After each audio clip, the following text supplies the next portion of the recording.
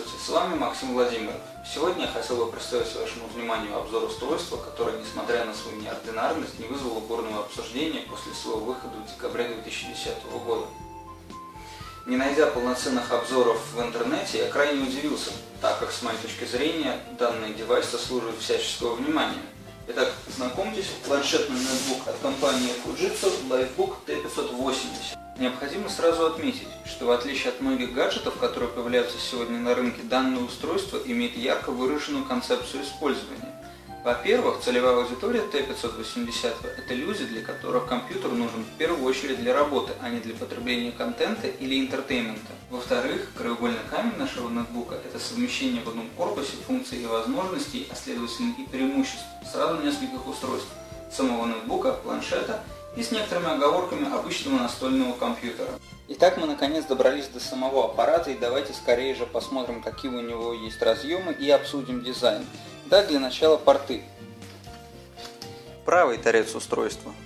Здесь мы видим гнездо для стилуса и проушину для шнурка, решетка вентиляции, выход USB, порт Ethernet, порт VGA и кнопка включения-выключения нетбука. Верхний торец. А, порт HDMI, батареи, кенсингтонский замок и здесь мы видим также шарнир, на котором крепится поворотный дисплей. Левый торец. А, порт для зарядки, еще один USB выход, еще одна решетка вентиляции, слот для SD карт и также а, переключатель беспроводных э, соединений.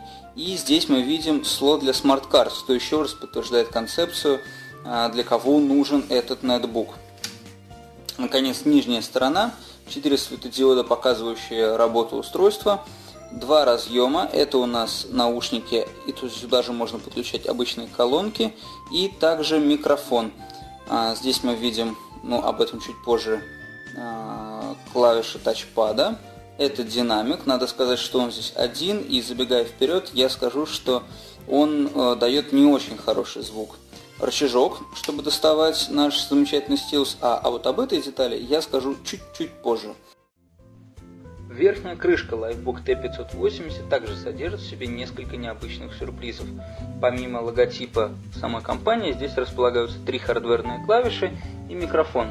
Эти клавиши нужны для работы в режиме планшета. Здесь мы с вами можем наблюдать клавишу вызова диспетчера задач, то есть это обычный Alt-Ctrl-Delete, принудительная ротация экрана и вызов специального меню управления. Раскроем последние секреты нашего сегодняшнего персонажа в буквальном смысле. На первый взгляд, самый обычный ноутбук, однако это не совсем так. Во-первых, клавиатура, по заверению Fujitsu, устойчива к параличию жидкости. Пока мне не удалось это проверить, и я надеюсь, в будущем не удастся. Тачпад действительно ничем особенно не примечателен, хотя вот эти клавиши выглядят какими-то немножко дешевыми и как будто не очень устойчиво сидят в своих гнездах. Экран помимо того, что поворачивается вот таким образом, на 180 градусов только в одном направлении, имеет для 10 дюймов очень приличное разрешение, 1366 на 768 точек. Кроме обычной веб-камеры 1,3 мегапикселя, на левой стороне располагается сканер отпечатка пальцев. И деталь, о которой я уже говорил, но не рассказывал подробно, это вот такая антенка. И да, вы угадали, в T580 есть 3G модуль, что огромный козырь в его рукаве. Дизайн и внешний вид. Материалы корпуса. Как вы видите, здесь все сделано исключительно из пластика, никакого металла или других излишеств здесь нету. Черная пластмасса с вот такой серебряной окантовочкой. А, к слову сказать, этот пластик не глянцевый, а матовый, что безусловно плюс, потому что глянцевые поверхности очень быстро царапаются и приходят в ужасный внешний вид. А, несмотря на то, что здесь все-таки матовое покрытие, отпечатки пальцев, тем не менее, остаются. Вот, например, пока я делаю этот обзор, мне постоянно приходится чистить э, вот эту панель для того, чтобы она имела, так сказать, товарный вид. Однако, э, не могу не отметить, что мой предыдущий ноутбук, у которого именно глянцевая крышка, очистить так не, не удается. Здесь же проблем особенных не составляет. Дизайн в целом можно охарактеризовать следующим образом. Как представляется, разработчики не ставили внешний вид своего детища во главу угла. Очевидно, ставку они делали на начинку и функциональность гаджета. T580 не производит такого вау-эффекта, как MacBook или ультрабуки, что уж там говорить об iPad. Это устройство выполнено в минималистичном бизнес-стиле, без каких-либо ярких деталей и красок. И тут уже дело каждого, нравится ему он или нет. А вот габариты нашего героя способны расстроить кого угодно. Т-580 длиннее и шире своих конкурентов этого класса 270 мм и 189 мм против привычных 258, 260 и 183, 185. Что, как вы понимаете, никоим образом не сказывается на размерах дисплея, те же 10 дюймов. Ну и самое главное, он гораздо тяжелее и толще. 39 мм и 1400 граммов делают его на фоне 25 мм и 1000 граммов прочих 10-дюймовых ноутбуков ну просто каким-то монстром, а неизбежное сравнение с другими планшетами в силу поворотного дисплея также проиграно Fujitsu полностью. Например, тот же iPad. Он в весе меньше в 2,5 раза, а в толщину в 4 раза. Таким образом, записать в плюсы габариты нашего устройства мы никак не можем. Далее, сборка. А, как это ни странно, несмотря на японскую сборку этого устройства, у меня на руках почему-то как-то скрипит и вот немножко похрустывает. Возможно, вы это даже слышите. Это, конечно, производит не очень приятное впечатление, учитывая, что Япония славится своим качеством. Однако, возможно, это дефект конкретно вот этой модели. После вот такой вот долгой и слегка затянувшейся преамбулы посмотрим на работу нашего героя. В первую очередь на работу в качестве ноутбука. Но поскольку все познается в сравнении, сравним его с ноутбуком производства компании Acer, выпускаемым под маркой Packard Bell, Packard Bell.S. Он также появился на рынке в 2010 году, правда чуть пораньше, и обладал для того времени, как в общем сегодня, неплохими характеристиками для 10-дюймовки – а именно это двухъядерный процессор Intel Atom N550 с тактовой частотой 1 ГГц, это 2 ГБ оперативной памяти, стандартная э, встроенная видеокарта Intel GMA 3150 и Windows 7 Starter на борту. Для начала скорость загрузки. Для этого я постараюсь запустить наших испытуемых синхронно. 3, 2, 1, поехали. И пока стартует система, я расскажу вкратце о начинке T580. Во-первых, процессор здесь Intel Core i5. Он, конечно, первого поколения, то есть никакого Sandy Bridge, никакого Ivy Bridge здесь нету. Есть технология э, Turbo Boost. Она позволяет увеличить э, скорость вращения камня с 1300 МГц до почти 2000 МГц. К сожалению, управлять этой функцией нельзя. Компьютер сам определяет, когда идет нагрузка и включает ее автоматически. Но возможность, конечно, радует. А, жесткий диск здесь на 500 гигабайт. А, стоит сразу отметить, что есть а, конфигурация, где установлен а, камень Core i3, а есть также и конфигурация, где установлен SSD-диск. Вот, кстати говоря, вы уже видите, стартовала система, и вы могли слышать динамики. Вот сейчас стартует Packard Bell. У T580, как я говорил, один динамик, и он скорее символический. А, кроме того, здесь у нас 4 э, гигабайта оперативной памяти с возможностью расширения до 8 гигабайт. И что очень интересно, это э, видеокарта. Она, конечно, здесь интегрированная, дискретную здесь поставить нельзя физически, но заслуживает она тоже внимания. Это не Intel GMA 3150, который устанавливается практически во все ноутбуки 10-дюймового форм-фактора. Это Intel GMA HD Своей памяти у нее 256 мегабайт, но производитель заверяет, что она может подкачивать до 1700 мегабайт из оперативной памяти. T580 загрузился чуть-чуть побыстрее. Обои рабочего стола выдают здесь Windows 7 профессиональную. И сейчас я хотел бы сравнить экраны. Как вы помните, здесь 1366 на 768, а здесь 1024. Открываем браузеры. Кстати говоря, можете оценить скорость загрузки. Wi-Fi сеть здесь одна. А, Core i5, конечно, выигрывает. И откроем YouTube. Открываем YouTube. Опять же, видите, а, что атом чуть-чуть медленнее. 1024 точки. Открываем и видео обрезается. Нам постоянно приходится подкручивать страничку. Вот таким вот образом. Поначалу, может быть, это покажется несущественной деталью, но вот я два года пользуюсь этим ноутбуком, и меня за эти два года это ужасно раздражает. Что мы видим на 1366 точках? Открываем то же самое видео. Оно открывается в меньшем окошечке, но зато оно открывается сразу целиком. а, хвала небесам, а, можно не подкручивать страницу. Это, на мой взгляд, очень удобно. А, кроме того, как это не покажется смешным, только после того, как я посмотрел на вот этот экран, я стал впервые замечать пиксели и вообще зернистость на э, дисплее с 1024 точками. Ну и, конечно, производительность. Поскольку в обоих случаях у нас установлен Windows 7, я предлагаю не мудрствовать лукаво и посмотреть результаты стандартного теста от Microsoft. В Packard Bell нам насчитали минимум в 2,9 балла. Это производительность рабочего стола для Windows Aero. Fujitsu гордо демонстрирует 3,2 балла минимальной производительности. Это, конечно, опять стол Windows Aero. На этом завершим наше сравнение и дальше будем изучать только продукты от Fujitsu. Согласно документации, шестиячеечная батарея должна обеспечивать автономную работу в течение 8 часов от одной зарядки. Как мы все понимаем, это, конечно, маркетинговый ход. А вот управление энергосбережением здесь крайне кривое, на мой взгляд. Если мы яркость экрана еще можем регулировать с клавиатуры, в общем, особенно не напрягаясь, то подключение и отключение модуля беспроводной связи очень неудобное. С одной стороны, как вы, наверное, помните, здесь у нас есть соответствующая клавиша, но она включает и отключает сразу все указанные модули, что отнюдь не здорово. С другой стороны, мне очень не хватает какой-нибудь простой и понятной утилиты, где можно активировать эти соединения за одно-два движения. Вместо этого мне приходится залезать в какую-то программу, которая называется Power Saving Utility.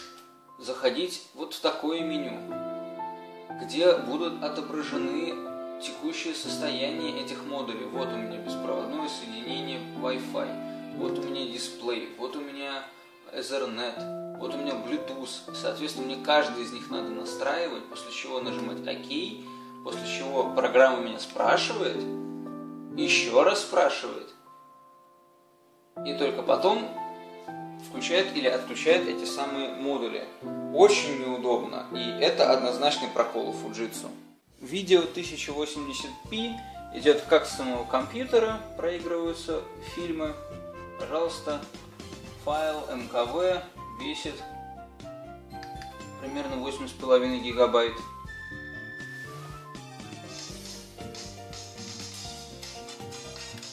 Пожалуйста, нет проблем.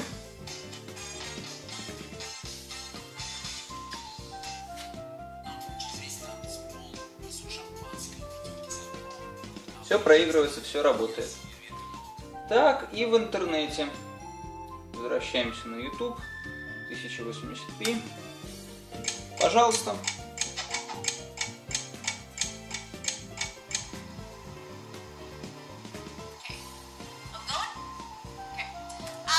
Логичный вопрос, который вытекает из разговора о производительности, а как здесь обстоит дело с игрушками?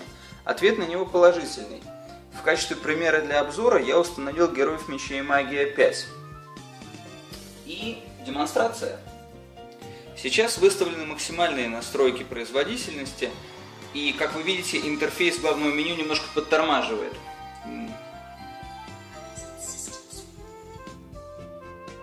Идет видеозаставка. Можете, кстати говоря, еще раз оценить качество динамиков. Звук, конечно, выдаваемый ими, ну, не самый хороший, мягко скажем. Ну, какой есть. Так, перейдем к самой игре. И, пожалуйста, можно играть, никаких проблем особенных нету. В игровом процессе интерфейс не тормозит, все плавно. Кентавры какие-то, крестьяне. Ну и для примера давайте сыграем один бой. Играть мы его будем на скорую руку, поэтому не осуждайте меня. Собственно, я хотел продемонстрировать, как отрабатывается графика вот в таком варианте. Как вы видите, опять же, все плавно, мягко, гладко. Никаких тормозов и глюков. Ну, перейдем сразу к выводу. А, играть в игру 2006-2007 годов здесь можно даже на максимальных настройках без особенных преград. Из других ресурсоемких приложений, с которыми я успел пообщаться на T580, можно назвать Coral Painter 12, Photoshop и Sony Vegas Pro. Не везде работа была безупречной, но тем не менее работать можно. Познакомившись с нетбучной ипостасью нашего героя, перейдем к планшетной. На этом поле, как вы понимаете, неизбежно сравнение с прочими планшетами. Для начала экран. Он выполнен по технологии TFT и в помещении при максимальной яркости выдает достаточно приличное изображение. К сожалению, TFT очень быстро выцветает на солнце и при повороте углы обзора, конечно, никудышные, инвертирование происходит практически мгновенно, но если по горизонтали мы его покрутим не так быстро, но, к сожалению, тоже ситуация не, иде не идеальная. Т-580 в этом месте, конечно, проигрывает другим планшетам.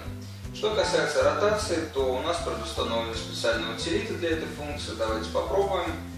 Повернули. Экран погас ненадолго. И портретный режим. Давайте еще раз попробуем. И да, вот ландшафтный режим. Здесь, опять же, как мне кажется, T580 снова уступает остальным планшетам, потому что там ротация дисплея происходит быстро и без разрывов. На iPad так даже и красиво. Здесь, к сожалению, разрывы присутствуют. Также мне не нравится, что производитель никак не защищает свой дисплей, а Fujitsu не предлагает ни какого-нибудь своего каленого стекла, ни горело глаз. А тут оно было бы очень уместно, потому что если вы работаете со стилусом, то то и дело возникает ощущение, что вы сейчас поцарапаете экран. Еще один момент, который смущает в планшетном режиме, это эргономика. Удобнее всего держать T580 при ландшафтной ориентации именно вот так. Но если вы при этом захотите использовать стилус, а он будет у вас на шнурке, как у меня сейчас, то вы очень быстро обнаружите, что этот самый шнурок постоянно мешает работать. Если же перевернуть гаджет вот так, то веревочка уже больше не мешает. Но центр тяжести при этом располагается сверху, и гаджет норовит постоянно упасть. Что же до вентиляции, то поскольку она располагается сбоку, то в ландшафтном режиме, как бы вы ни взяли Т-580, вот так, вот так, вы будете постоянно закрывать ее ладонью, что плохо со всех точек зрения. Но довольно о грустном, давайте о приятном. Поговорим о стилусе. Вряд ли я открою большую тайну, если скажу, что перо здесь призвано заменить мышку, когда Т-580 работает в режиме планшета. Сам по себе стилус выполнен из металла и в руке лежит достаточно приятно. Он выполняет все те же самые функции, что и обычная мышка. Например, двойное нажатие, пожалуйста, выделение объектов и перемещение объектов. Ну, давайте мы переместим что-нибудь музыку. Вот правая кнопка мышки здесь реализована не самым удобным образом, но с другой стороны, я не могу себе представить, как можно было в таком формате сделать лучше. Во-первых, можно просто нажать и удерживать стилус. Появляется менюшка, вот так. Другой вариант, если я буду одновременно нажимать а, кончиком пера и вот на эту кнопочку. Ну, я могу сразу сказать, что я до конца э, так и не, не освоил данную функцию, и поэтому сейчас мне придется немножко импровизировать. Итак, 3, 2, 1, поехали. Вот, как кажется, получилось, но а, лично мне совершенно неудобно и некомфортно, и мне все-таки проще долгое нажатие. Также мне хотелось бы продемонстрировать, как здесь осуществлено распознавание рукописного текста. Для этого откроем блокнот, развернем.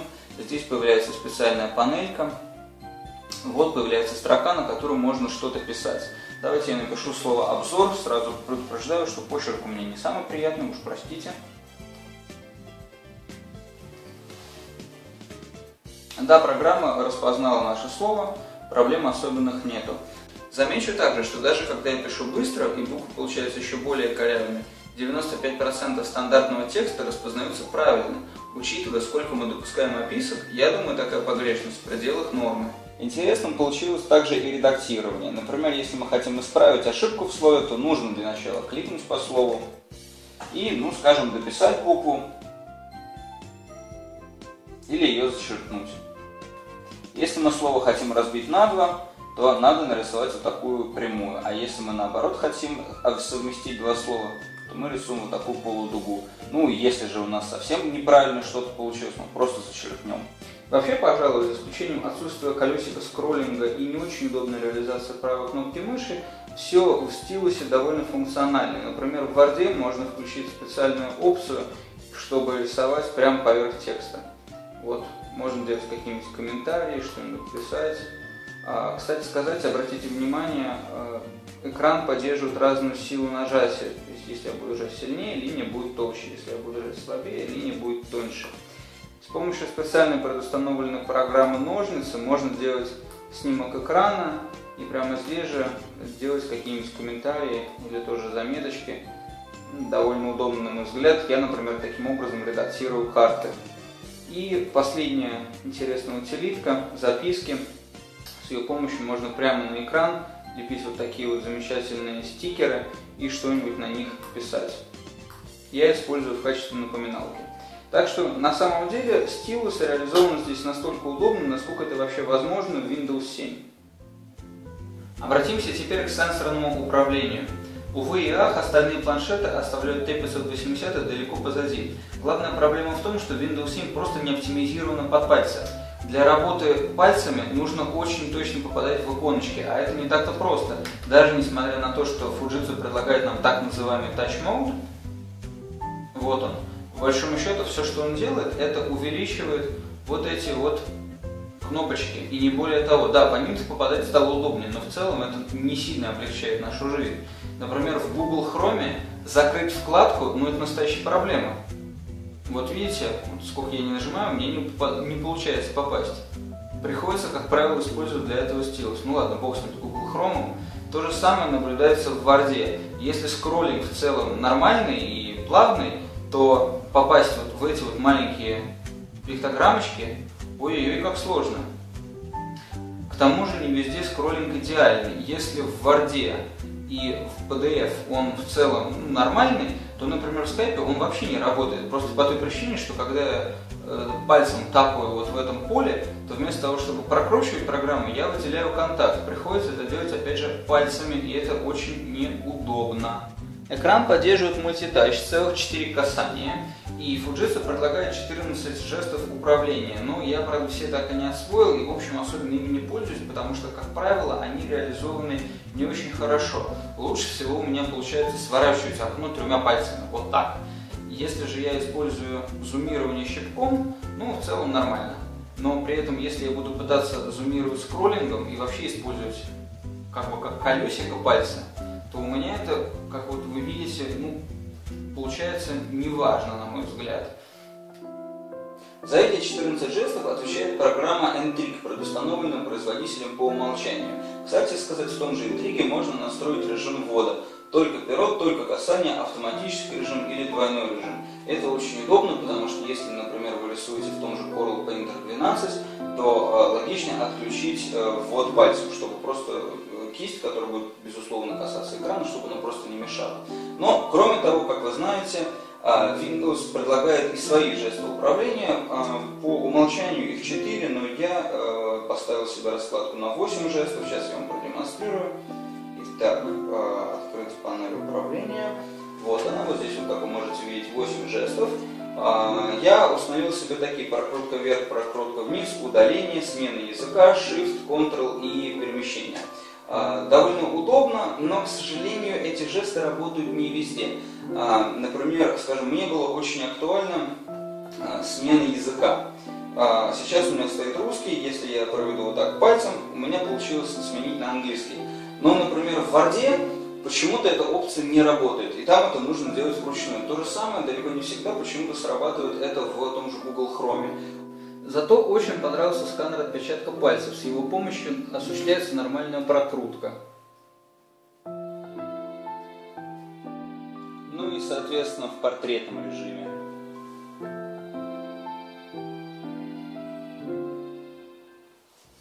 А вот что будет вызывать мои бесконечные нарекания, так это виртуальная клавиатура. Другие планшеты дадут здесь 100 очков вперед.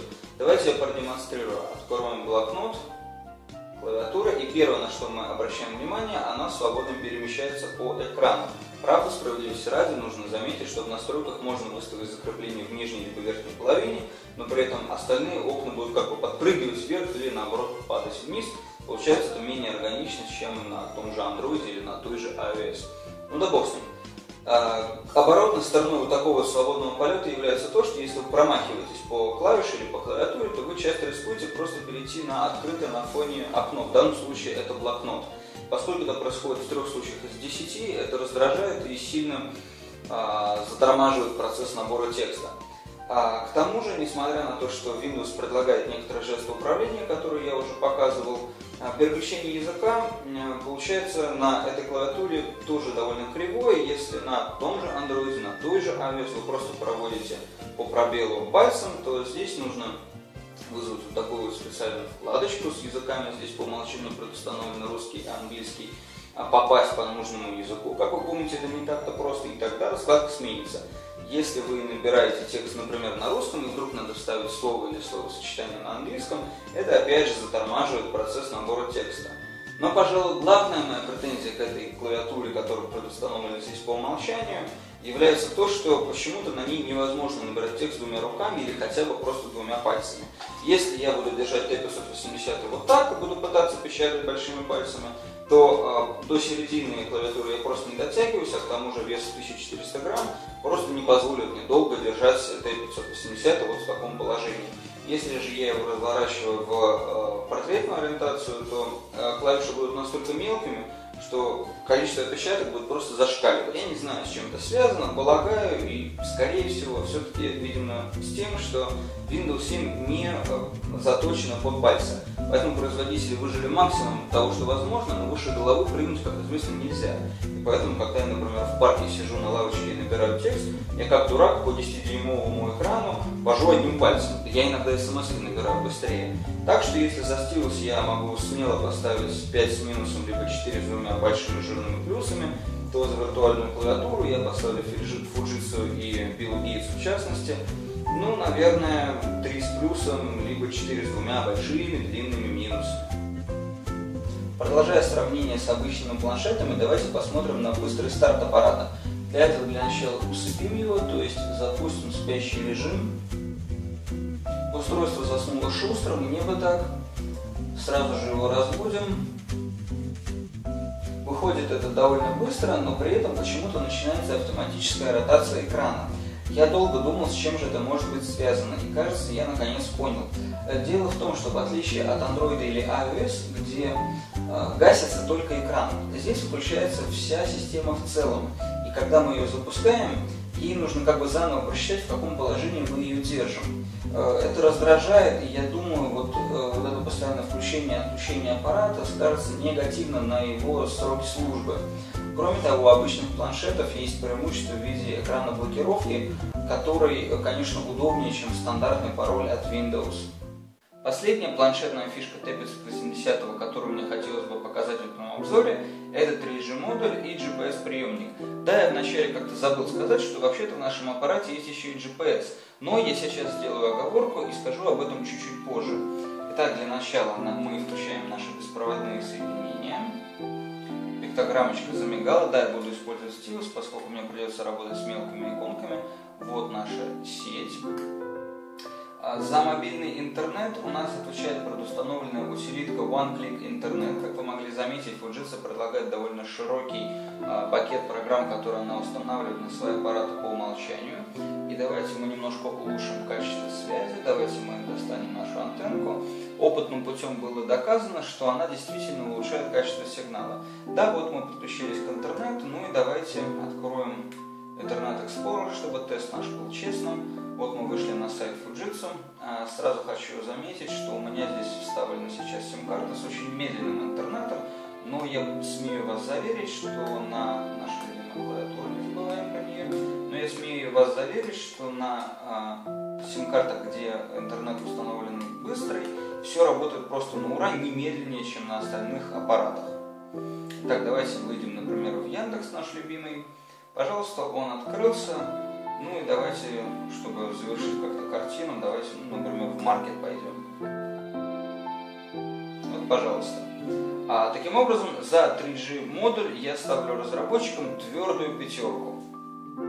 Теперь о GPS. Я заранее установил свои координаты, и пускай пока карта загружается, я немножко расскажу о теории. Дело в том, что компания Fujitsu вела себя очень некрасиво.